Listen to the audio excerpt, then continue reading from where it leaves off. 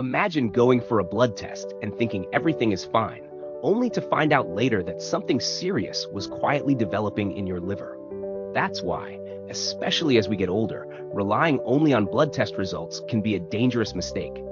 Those numbers can fluctuate up and down, and while they may look reassuring at first, they don't always tell the full story.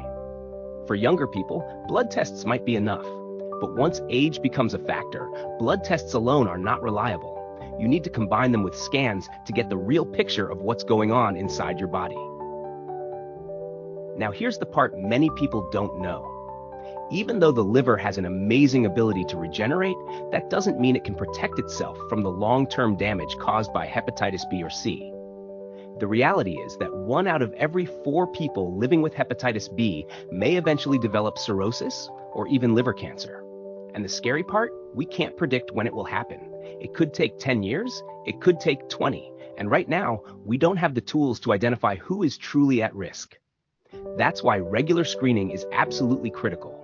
If you've ever been diagnosed with hepatitis B or C, the global recommendation is clear.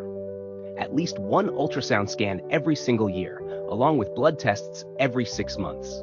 But not just any blood test. The most important one is the viral PCR test.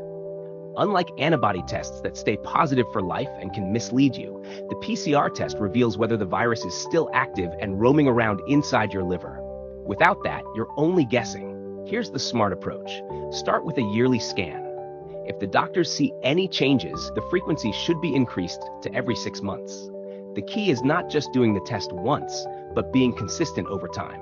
Because the truth is, many people wait until symptoms appear, and by then, it might already be too late. And let's not forget lifestyle. When hepatitis combines with fatty liver, often due to frequent drinking or poor habits, the risk of cirrhosis skyrockets. But that doesn't mean everyone with fatty liver or hepatitis will definitely end up with cirrhosis. In fact, many live for years without developing it. The problem is, we simply don't know who will and who won't. So the safest thing you can do for yourself is this. Commit to regular scans, commit to consistent testing, and don't rely on one-off results. Because catching danger early is always better than being caught by surprise later. And if you found this video helpful, don't keep it to yourself. Share it with someone who needs this information. Hit that like button, subscribe for more health updates, and check out our other videos on liver health and viral infections.